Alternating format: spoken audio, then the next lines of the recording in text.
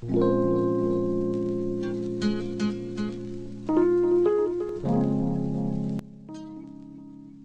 you are an alumni of Morgan State. I am a proud alum of Morgan State University, class of 1991. I'll say before what I expected and what I got was two different things, and what I got was even better. So when I came, this was during the time period when um, a different world was on.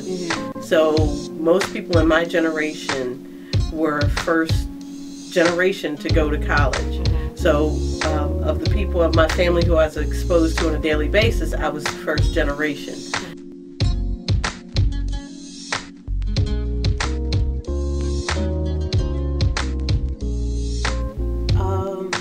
Parent teacher. Parent teacher. I, literally to be embraced even when you were being scolded because you didn't do something correct, but you knew that your professors cared and wanted you to be the best when you graduated and they weren't going to let anything slip. So, of course, it was a pain at the time and it was hard to get through. You just thought it was unfair, but immediately I understood the reasoning for it. Like this isn't going to fly. You're being lazy, so you will do better. And you did it because you had to. There was there wasn't a whole bunch of back and forth. Well, this isn't fair, and you're trying to hold me down, and it was okay. You pulled my card. I think I'll get it together.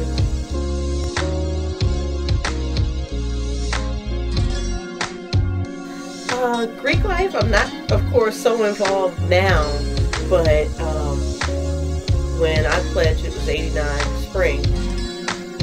And it was really nice. That was almost contrary to school days where you had the whole big debate between, you know, the, the different sororities and fraternities. We were really united here. It's like my line sisters, my AKA line sisters, and my Delta line sisters. That's what we called them because we went over together.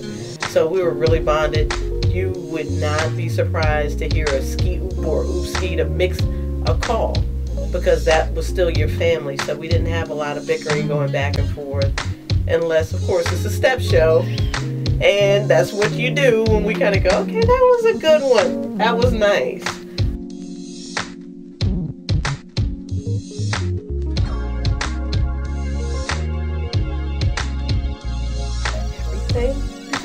Absolutely love Morgan. I love I love being on the campus and remembering my experiences and my challenges that I had here and how it felt like home.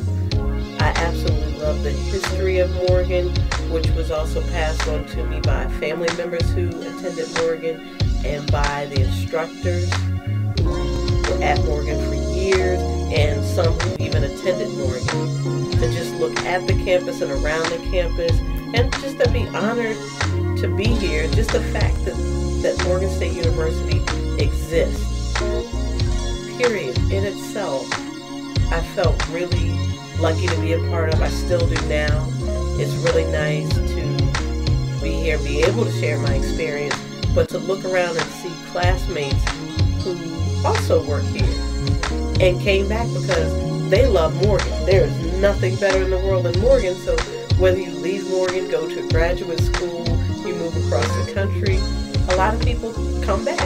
So on the other side of campus, on this side of campus, I can pass a classmate every day if I were to just simply walk across.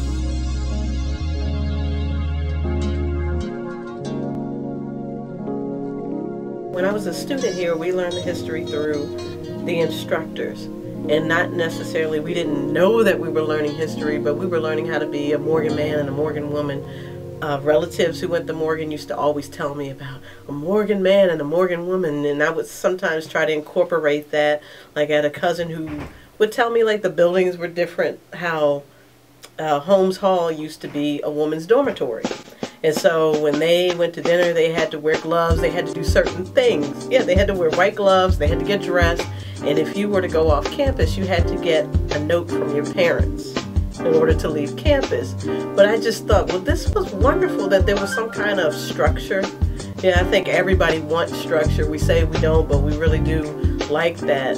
Um, for instance, Dr. Hawthorne, who taught speech and communications, used to teach us about a Morgan man and a Morgan woman all the time from the very first uh, convocation that we had, which was matriculation convocation. And she would preside over that and she would spout things out that we didn't realize we were taking in at the time, but we took it in. Like here at Morgan State University, we do not walk on the grass. That's why we have sidewalks. And Doc's office was over in the old communications building, which is Banneker. And if you were late for class and you happened to run across the grass, you would look up at that window and go, oh my gosh, I hope Doc's not watching. I hope I know we don't walk across the grass here, but I'm late. So you had to choose, be late or walk across the grass. I think Doc would want me to be on time.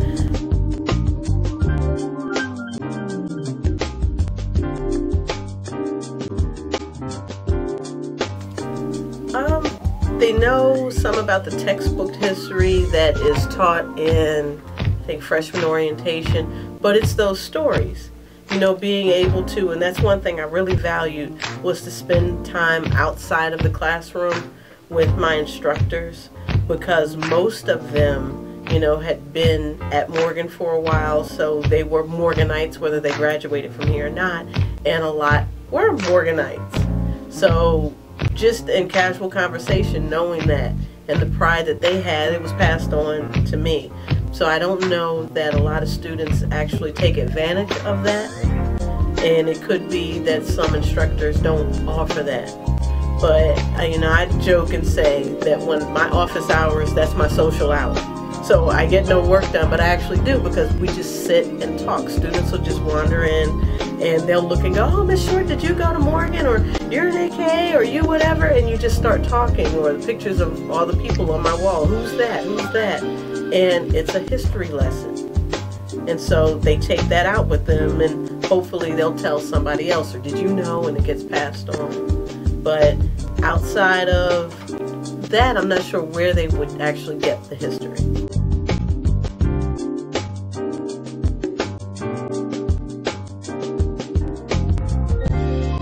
All I ever heard growing up and when I saw the products of Morgan and how people were so proud to have gone to Morgan, there was no other choice. And I feel the same exact way as they did now. So if people ask me about Morgan, oh, absolutely Morgan. You know, even like we'll go back and forth the family and other um, family members have gone to other HBCUs. And so we just kind of, oh, well, you know, they went to so-and-so. Yes, but we went to Morgan. So we like that little rivalry. It's a Morgan thing. Do you think that um, you would be who you are today if you would have went to uh, maybe like a school like University of Maryland or a predominantly white school? Absolutely not. Um, Morgan was essential for me. My high school, my before college, um, I went to you know schools that were um, almost equally mixed, black, white, a few Asians.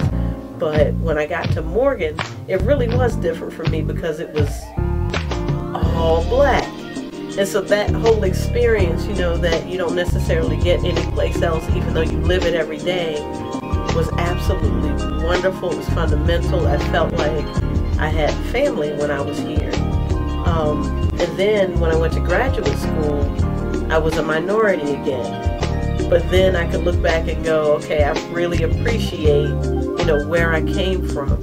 And I came with the values that I might look around and go, hmm, where did they go? Where did they come from? But I came with the knowledge that they also had.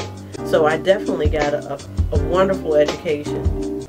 But I definitely wouldn't be the person I am because of those small experiences of going to a professor's office and just kind of hanging out and talking or going to their house, being invited and introduced to other artists and people who are well known and thinking, wow, you care enough to introduce me to them. So it went beyond the classroom education because I was here. And I don't think that I would have gotten that anyplace else. Balls of the heart, born the saints of the spirit.